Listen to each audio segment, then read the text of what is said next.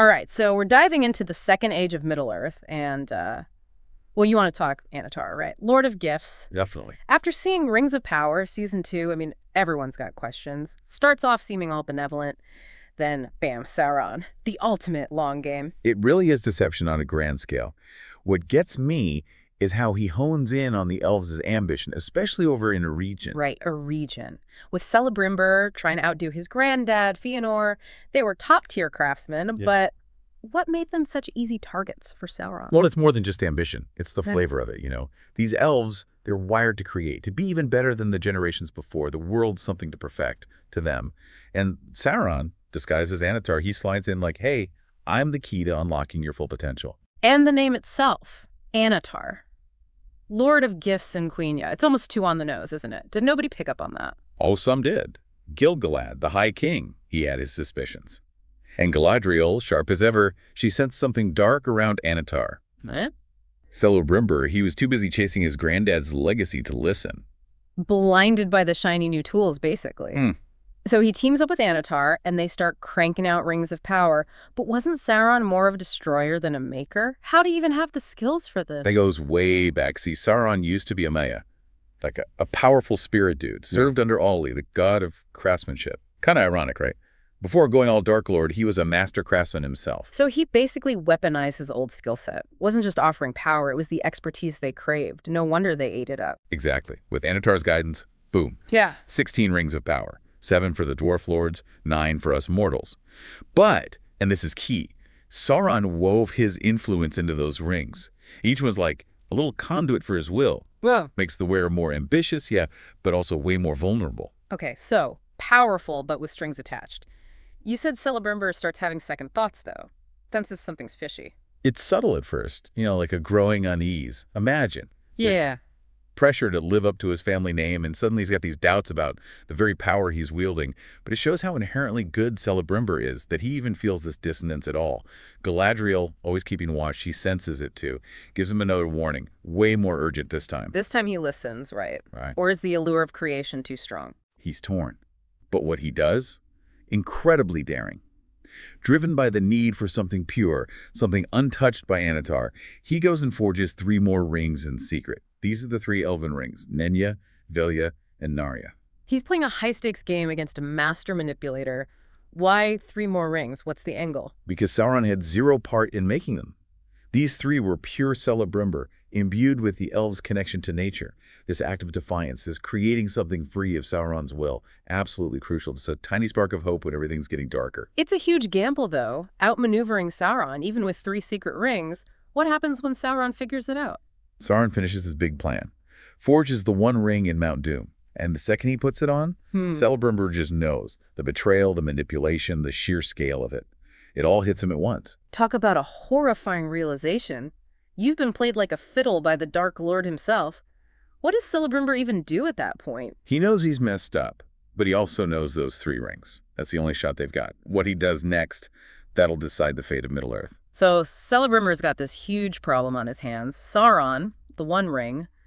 What's he do with these three secret rings? He makes a choice, one that's going to echo through the ages, decides he's got to protect the three rings, so he sends them away. Who does he trust with that kind of power? Gil-galad gets one. High King of the Noldor, right. Makes sense. And of course, Galadriel. She'd been warning him about this whole mess from the start. Smart move. But what about Celebrimbor himself? He's still in danger, isn't he? Oh yeah. Sauron, juiced up on one ring power, unleashes his forces. Eregion, this beautiful place, known for its art and craftsmanship, suddenly it's a war zone. And Celebrimbor, he knows he's partly responsible. Does he just give up? No way. He picks up a sword and fights alongside his people, defending Eregion against Sauron's armies. Think about the weight of that decision, fighting for your home, knowing you helped lead it to ruin. That's heavy stuff. What chance did they have against Sauron? He's got the One Ring. It's got to be like fighting a god. They fought hard, desperately, but it wasn't a fair fight. Eregion fell, and Celebrimbor, Sauron captured him. Knowing Sauron, I don't even want to imagine what happened next. He's brought before Sauron, and it's brutal. Sauron's obsessed with controlling all the rings, demands to know where the three rings are. Surely Celebrimbor cracked under that kind of pressure. No. Even after everything, all the pain, Celebrimbor refused to break. He knew what was at stake, knew those rings had to stay hidden. Such defiance. It speaks volumes about his character. So what happened? What became of him? He died a prisoner, never revealing the secret. His sacrifice bought Middle-earth some time, kept a little flame of hope alive, and his death. It was a wake-up call. The elves finally realized how dangerous Sauron was. Exactly. Seeing Celebrimbor tortured, killed. It united the elves and those men who opposed Sauron. That's what led to the last alliance of elves and men, a final stand against the darkness. And that brings us to the climax of the Second Age. But before we move on, we've got to acknowledge Celebrimbor's story is tragic, sure, but inspiring too. He messed up, big time, but he faced the music with guts, showed that even when things are darkest, when you think it's all your fault, there's still room for defiance, for sacrifice, for hope. I agree. His legacy is complicated. A victim of Sauron, but also a hero who stood up to him. It reminds us that even the smartest among us can get tricked, but it's never too late to choose courage, to fight for what's right no matter the cost. And that fight, that last stand against Sauron, that's a story for the ages. But for now, let's switch gears to another big event from the Second Age, one that shows what happens when pride and ambition run wild, the rise and fall of Numenor. We've talked about ambition, right? But how does Numenor, this whole legendary island kingdom, how does that tie in? Numenor. It's like a cautionary tale, you know. Shows what happens when power goes unchecked, how pride can mess up even the good guys. These people, they were blessed by the Valar themselves. Long life, wisdom ruled the seas. They had it made, but there was a catch, right? With their long lives. Yeah. See, elves are bound to the fate of the world. But Numenorians, long-lived, yeah, but still mortal. And that Yeah. knowledge, that shadow of death, it messed with them. So the more powerful they got, the more they feared losing it. Exactly. They started envying the elves, resenting the Valar, figured, hey, why them and not us? And right into that resentment steps Sauron. Classic Sauron. Of course. Where there's drama, there's Sauron. But how'd he pull it off? These are Numenorians. They knew his tricks. Remember, the guy's a master manipulator. Couldn't tempt them with shiny rings this time, so he went deeper. Mhm. Offered them dominion over death itself. Whoa. Okay, how'd that work? He started whispering about Valinor, the Undying Lands. Told them the Valar were hoarding immortality, keeping it for themselves. Turned them against their own benefactors. Bold move. But it worked. Pride's a hell of a drug. Sauron played them like a fiddle. Told them what they wanted to hear, that they were being cheated, that they deserved better. And the kings, Ooh. the rulers, they had all that history to learn from, didn't they? Some saw through it at first. But Sauron, he's patient, sneaky. Just a little doubt here, a little resentment there. Over generations, the kings, they started listening. They wanted that eternal life.